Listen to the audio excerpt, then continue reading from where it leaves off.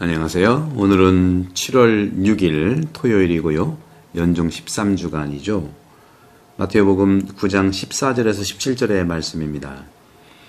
요한의 제자들이 예수님께 와서 바리사이들 그리고 자기들은 단식하는데 많이 한다고 그랬어요. 많이 하는데 에, 어찌 스승님 제자들은 단식하지 않냐고 물어봅니다.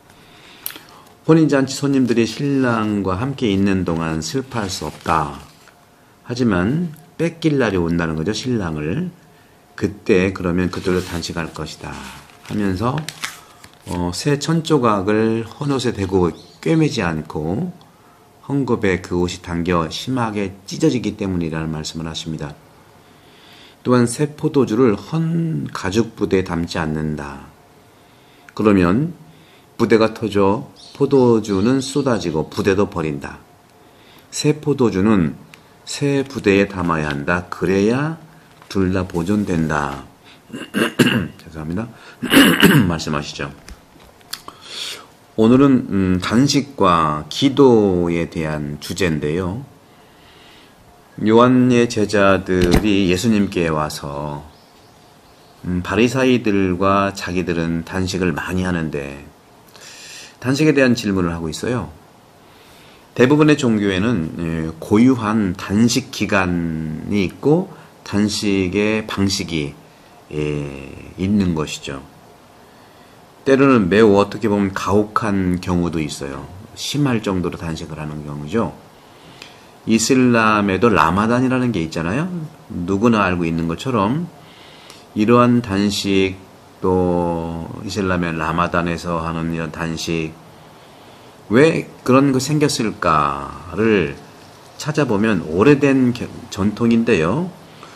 오늘날 단식이 처음에 어떻게 왜 제정됐는가 그 이유를 추적하기가 참 어렵죠. 슬픔과 아픔이 항상 처음에 동반되었던 것 같아요. 흘러가는 인생 속에서 여러 가지 아픔과 고통들이 있지 않겠습니까? 오늘날에도 어, 이태리의 남부 이태리, 에, 그 남부 이태리니까 저 나폴리 밑쪽이 되겠죠. 여기 일부 지역에서는요, 가족 중에 누가 사망을 하면 아무것도 요리하지 않는데요. 그야말로 단식하는 것이죠. 상징적으로 이것은 사랑하는 사람이 더 이상 존재하지 않기 때문에 삶의 의미를 상실한다는 것과 같은 내용이겠죠. 하지만 마지막이 항상 그렇게 결정적인 것은 아니에요. 다시 말해 우리가 살았던 전생과의 이별은 끝장이 아니라 새로운 삶의 시작이 될 수 있기 때문입니다. 이것이 그리스도교의 신앙이에요. 이러한 이유로 또 결혼식에서 신랑 신부, 특히 신부는 단식을 하면서 새로운 가정, 새로운 삶을 시작하는 결혼을 준비했답니다. 예언자들은요, 임무를 시작하기 전에 단식했죠. 왜냐하면 그들은 임박한 하느님 나라의 도래를 기다리고 있었기 때문입니다. 이것이 바로 그리스도인들은 부활절의 기쁨을 준비하기 위해서 또는 하느님으로부터 큰 선물을 받기 전에 단식을 하는 이유가 되겠습니다. 사순식에 단식을 하지 않습니까? 어, 세례자 요한 제자들이 얘기했어요. 왜 우리들과 바리사이 그렇죠? 그들은 단식을 하는데 당신의 제자들은 하지 않냐? 많이 단식하는 단식하는 동안 너희들은 뭐하냐? 그런 뜻이 될 수 있겠죠. 어, 토비서 1장 17절에 보면 이런 말씀을 하고 어, 배고픈 이들에게는 먹을 것을 주고 헐벗은 이들에게는 입을 것을 주었으며 내 백성 가운데 누가 죽어서 니네베 성 밖에 던져지는 것을 보면 그를 묻어 주었다 하고 토비 1장 17절에 말을 하죠. 많은 영적 작가들은요 그리스도교 안에 많이 있죠. 그리스도교 금욕 단식주의의 가장 기본 세 가지 요소를 자선과 단식과 기도 3종 세트로 항상 얘기를 합니다. 하지만 교부들은요, 이런 그 단식과, 그러니까 자선이죠. 자선과 단식과 기도가 서로 내적인 연관성을 가지고 있다고 말하는 거죠. 하나씩 떨어져 있지는 않죠. 자선을 하기 위해서 사랑을 행위를 하기 위해서 단식을 하고 단식을 하는 것은 바로 어, 사랑 행위니까 에, 자선이면서 이것은 바로 기도라는 거죠. 오늘날 이해하는 방식과 다르게 볼 수가 있죠. 경험을 통해서 볼 때 사람들은요 선물을 제공하고 그죠? 선물 제공을 요청을 받든지 또 주든지 이런 것들을 강화하는 방법을 배워요. 주거니 받거니 하는 거잖아요. 물질적으로. 마찬가지로 우리도요, 이 단식이라든가 자선이라는 것을 더해서 하느님께 드리는 기도가 더 효과적이라는 것을 믿는 것입니다. 하지만 많은 고대 작가들은요, 이렇게 말하고 있어요. 우리는 하느님께 간청하기 때문에 그분으로부터 은혜를 받을 수 있다. 받는다. 하지만 우리의 기도는 순수해야 된다는 거죠. 단식 자손은 우리를 깨끗하게 해서 우리 아버지를 더욱 진심으로 부를 수 있게 해준다는 것이죠. 그런 점에서 시리아의 이사야라고 하는 작가는 인간의 예, 인간의 마음을 기도하는 동안 성령의 영감, inspiration, 성령의 감도, 성령의 영감을 받아서 높이 이렇게 맴돌고 있는 영감을 주는 것을 기록하는 펜에 비유를 했어요. 펜. 따라서 이 영감으로 기록하고 있는 이 펜촉, 이 펜촉 연필의 심지, 연필 심지, 연필 심이라고 그러죠. 이 펜촉은 깨끗하고 건조해야 하고 땅에 달라붙는 어떤 무게를 지니게 할 수 없게 해야 된다는 거죠. 무게를 지녔던 것은 없어야 된다는 거죠. 가벼워야 된다는 거죠. 얼른 받아 적기 위해서. 우리가 단식한다고 하는 거, 어, 사람의 아들이 함께 있지 않을 때 분명히 단식한다고 그랬죠. 함께 있을 때 어떻게 단식하느냐. 단식한다는 것은 어떤 것일까? 근본적으로. 기도구죠, 기도. 단식은 기도예요. 그래서 기도는 마음을 하느님께 들어 높이는 것으로 정의되죠. 그렇기 때문에 기도는 무엇보다도 내적인 행위입니다. 따라서 단식도 내적 행위를 해야 되기 때문에 마태복음에 계속 보면 단식할 때 침통한 얼굴을 보이지 마라 그런 얘기 하잖아요. 따라서 어, 어, 신체도 어떤 긍정적인 방식으로 참여할 수 있는지 스스로 묻는 거예요.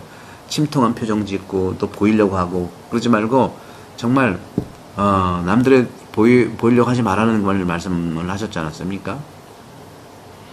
사람과 마찬가지로 어, 온전한 자를 가지고 우리는 하느님과 관계를 맺어야 된다는 뜻이죠. 온전한 자를 가지고 맺는다는 건 어떤 걸까요?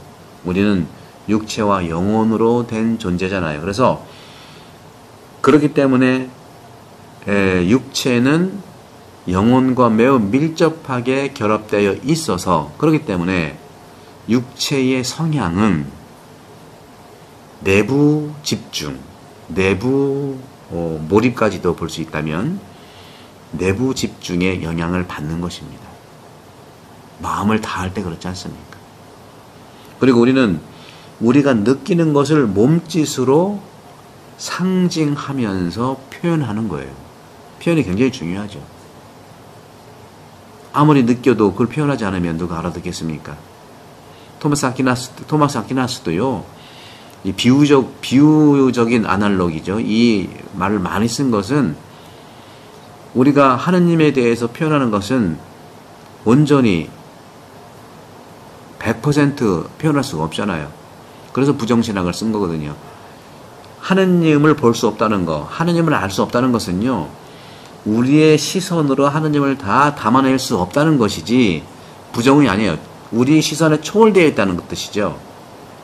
알 수 없다고 하는 것도요, 모른다는 게 아니라, 알미라는 것을 초월해 있는 것, 아날로그라고, 아날로그라고 하는 이 비유는요, 초월성을 얘기하는 거예요. 그럼에도 불구하고, 다 담아낼 수 없지만, 우리의 감정도 다 담아낼 수 없지만, 하느님에 대한 표현, 예수님에 대한 표현, 단식하면서 기도하면서 나의 표현을 다 담아낼 수 없지만, 비유로 끊임없이 우리는 노력을 하라는 거죠.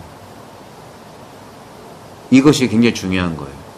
노력을 끊임없이 해야 됩니다. 아, 난 못한다고 안 하는 게 그러면 퇴화돼요.